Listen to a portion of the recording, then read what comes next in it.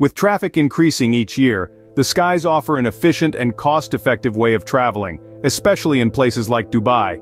Hence, Dubai has recently solidified plans to introduce flying taxis to the Emirate by 2026, with agreements signed on Sunday with Joby Aviation and Skyports Infrastructure. The Emirate will become the first location in the world with a commercial, citywide electric air taxi service, Skyport said. Dubai Roads and Transport Authority signed an agreement that provides US-based Joby Aviation with the exclusive right to operate air taxis in Dubai for six years. Joby Aviation has established a local operating group in Dubai to support the development of its operations and intends to recruit locally for most of its operational team. UK-based Skyports was granted exclusive rights to design, construct and operate a network of vertiports launch and landing areas for the air taxis. Skyport said detailed studies had been completed and architectural design had started for the first phase of development. While it has been agreed that operations will start by early 2026, Joby Aviation is targeting initial operations as early as 2025. The Joby Aviation S4 is a silent, battery-operated aircraft, which has a top speed of 321 kph and capacity for a pilot and four passengers.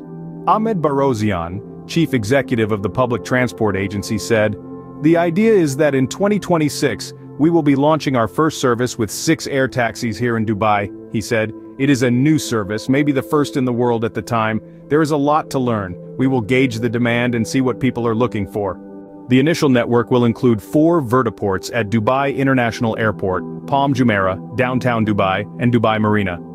The aircraft is in the process of being certified by the U.S. aviation oversight body, the Federal Aviation Administration, which has the most stringent safety standards in the world.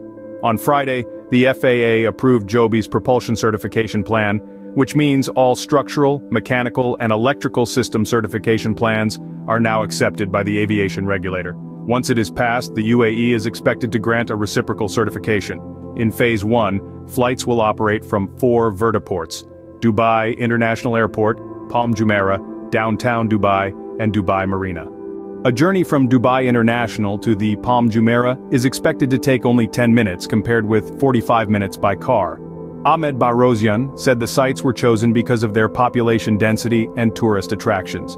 With the aircraft capable of a maximum flight distance of 161 km, intercity operations are a possibility in future. A pricing structure has yet to be agreed on for the flying taxis. Mr. Bahrozyan previously told the media that a ride would eventually cost little more than the average Careem. Joby Aviation will run the flights on a per-trip model. Speaking at the World Government Summit in Dubai, JoeBen Bevirt, chief executive and founder of Joby Aviation, said the speed of the aircraft would lead to an increase in revenue. Because you're flying at 200 miles an hour, that pilot and that aircraft are much more productive in terms of the number of passenger miles per hour that they deliver, Mr. Bevirt said. So if you're moving 400 passengers at 200 miles an hour and you're flying 50% of the time, you're delivering 400 passenger miles per hour compared to a ground vehicle, which might be delivering 20 passenger miles per hour. So that aircraft is then 20 times as productive as the car on the ground in terms of the number of utility that is providing to the customers, and so that's one of the biggest drivers that reduces the cost.